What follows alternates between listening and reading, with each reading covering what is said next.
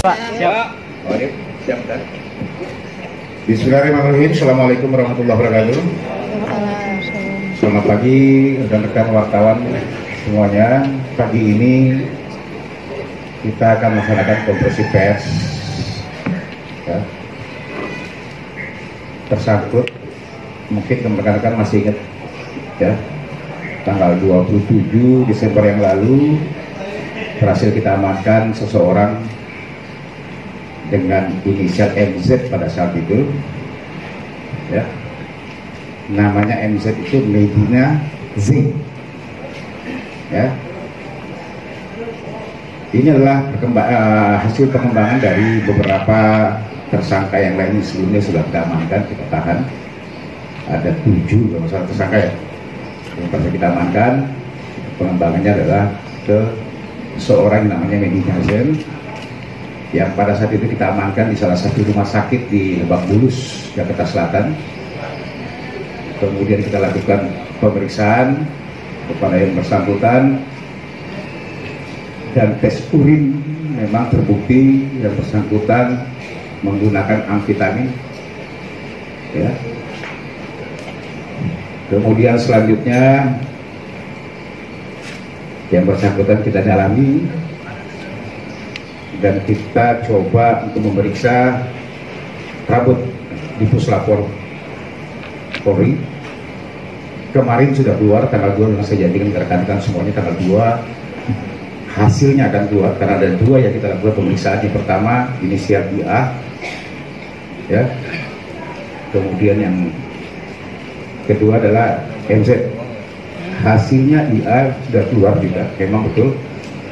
Yang IA ini sudah lama menggunakan uh, jenis amfetamin sama amfetamin jadi dua ini. Untuk MZ ini tidak bisa terdeteksi. Dalam arti kata bahwa uh, penggunanya memang belum terlalu lama.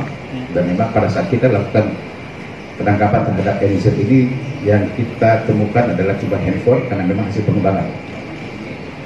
Setelah itu kita coba Polda Metro Jaya melakukan gelar perkara ya menyangkut masalah MZ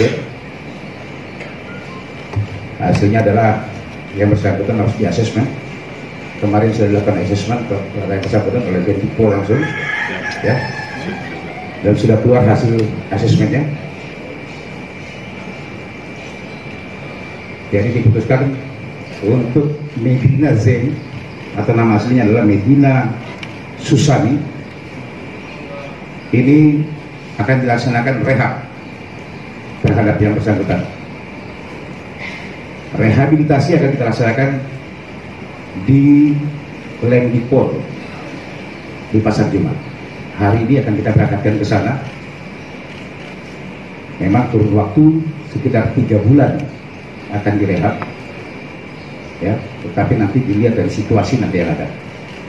Apakah akan bertambah lebih dari itu atau nanti berkurang nanti tergantung dari tim di bagian rehabilitasi di sana. Jadi hari ini mulai ke tanggal hari ini akan kita langsung bawa yang bersangkutan ke Lendipol untuk dilaksanakan dilakukan rehabilitasi terhadap bersangkutan ini mungkin yang saya sampaikan rekan-rekan semuanya. Tetapi bagaimana dengan pengembangan kasus ini?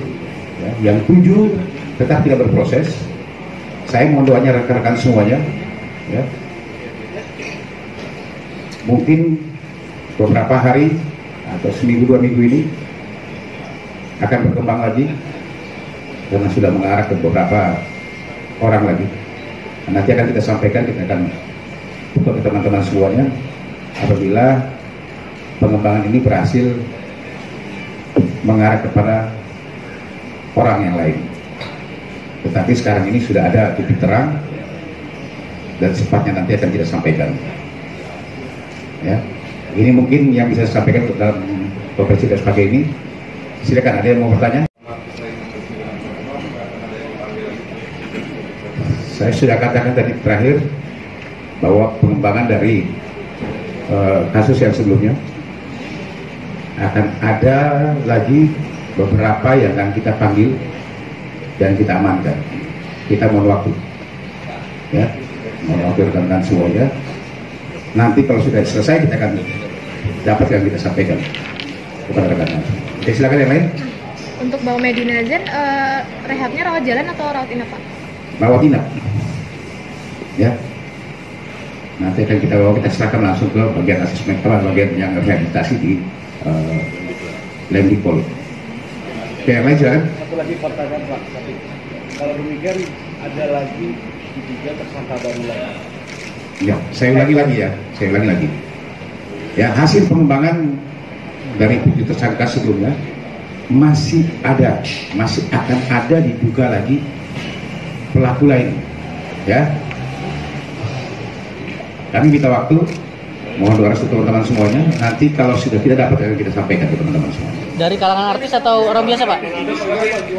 Ya, tunggu mainnya. Tunggu. Ya, Medina, Medina, Medina sejak kapan sih Oke, mengonsumsi Nanti nanti kita nanti biar saya serahkan nanti Medina untuk sampaikan juga bagaimana ininya ya. Oke. Pak?